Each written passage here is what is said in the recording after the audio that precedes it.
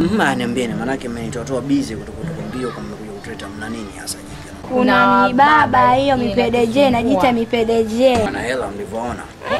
Mipedeje, kwanza sikia mipedeje. Hmm. Wana viela hela. Sasa sikiliza, namba zao za simu simshachukua. Eh, tunazo. Mpango mzima sio poa? Mpango mzima ile tunawasema.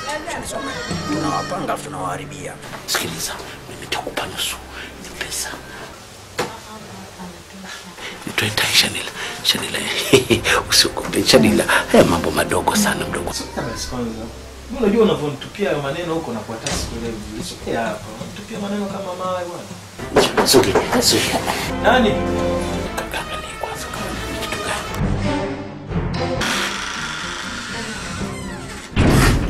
Nini nini? Fanya! Ulipoondoka nyumbani umesema ndo. Sasa naona huyu ndo mama yako mdogo mzee umekuwa mama mdogo. Sio maana wewe ndio shangazi wa huyu.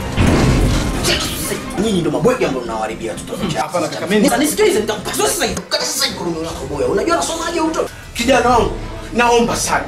Ni kiasi gani unataka cha pesa nikupe? Chochote. Siku nyingine Naleta vitu kama hivyo na watoto watoto wanakuja kueleza wakati wewe unaonekana kabisa ni mtu mzima na una familia yako. Nitakupasua na nitakukata boya wewe. Unashanisikia vizuri nimekusikia. Napozungumza na mtu kama unasukuma unasukuma.